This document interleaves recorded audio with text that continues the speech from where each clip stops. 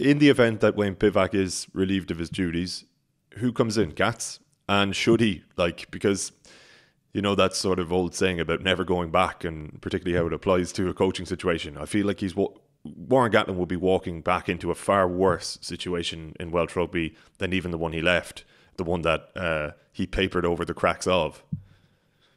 I think it'd be. Rumor is it will be him, um, um, and certainly he's been in Wales for the last couple of weeks. You know, going around to different clubs doing you know tribute nights and, and things like that. So, um, the problem with he will have now is that the generation that he got the best out of are older or are, are finished. Plus, you won't have Robin McBryde, Rob Howley, and Shaun Edwards for this 12 month block.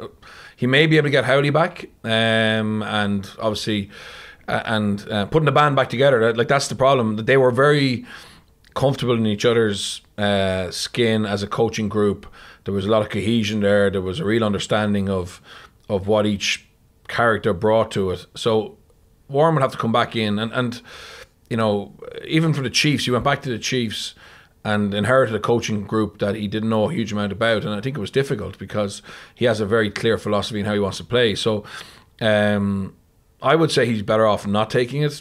In my own opinion, I think he's, you know, a big job comes up in France. I heard him speak recently. He said, you know, maybe France are back to a Premiership club or you know, uh, he's definitely open. I think to come back to this side of the world. I think he realizes the All Blacks isn't going to happen for him, um, and you know, I think I think Wales may go for him. He may take it because you know he he'll see the upside. He'll see bringing Wales back to a World Cup and Wales in the Six Nations and getting him going again. And certainly he has the um, the credibility to do that. I just think with the current state of the regional game, the fact that that golden generation are probably past it in, in a lot of cases. Um, and the fact that he won't have his old coaching team together. And Gats is a very, he's not like he's not a Joe Schmidt type of coach where he, he's all over every detail. Um, you know, he's he's more more around feel and you know subtle motivational tactics and giving the group confidence.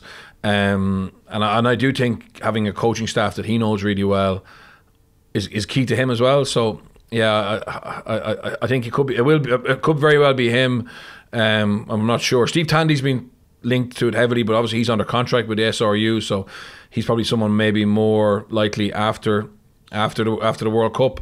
Um, yeah, it's a it's a messy one. It's like look at like if Eddie Jones, Scott Robertson is the only is the only one available as such. You would imagine. Even Rog, like I'm sure, unless Rog's got a clause um, in his contract um, it's going to cost a lot of money to get him out now, you know. Um, so yeah, Gatland obviously is is the most obvious one. I think. I don't know what you think, Murray. Like he risks ruining his legacy yes. yeah. because his legacy is undoubted. What he achieved is incredible, particularly given that the regions weren't strong for a lot of that. Yeah. And it, uh, it was just a phenomenal period of sustained success, really. I just wonder how much does a coach, I was going to ask you, how much does a coach think about that kind of stuff? Like, my legacy, I'm a legend there he comes back. The squad just like let's speak really honestly here. The squad is not very good at the moment. I, I look through the squad and I go, yes, Pivac hasn't done a good job. I wouldn't argue that, but he's not working with similar cattle to, to what yeah. was, as you say.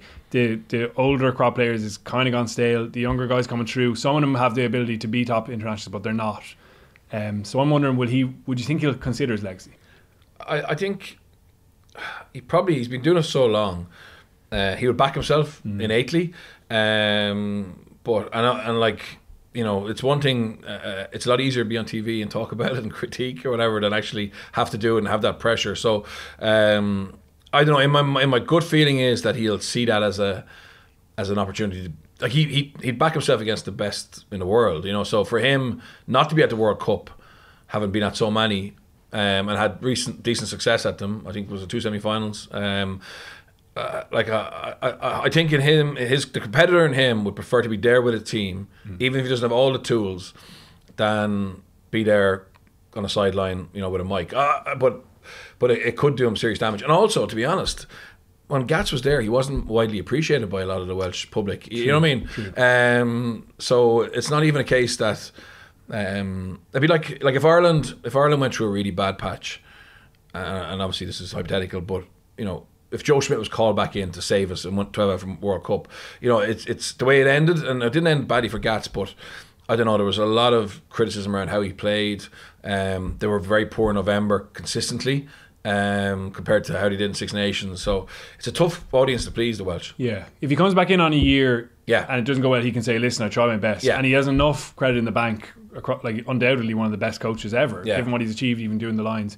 For other guys that you mentioned, like Rog, avoid at all costs. Yeah, costs. uh, and I saw the Ra- La Rochelle fans were chanting his name after the match there on, on Saturday. The hammered cast, so he's clearly loved where he is. And Robertson the same. Like you're still they're on their upward trajectory. They have to prove themselves at an international level, and that's all ahead. But you've got to you've got to have the good timing, don't you? Pick the right opportunity. Yeah, and for Robertson, like if he doesn't get England now, he'll get it in twelve months' time, or he'll get another brilliant job somewhere. Um, I wouldn't be taking Wales if I was if I was them, uh, you know, at the moment. Uh, Robertson particularly, I think he might get he might get England in the next two weeks. Who knows? You know.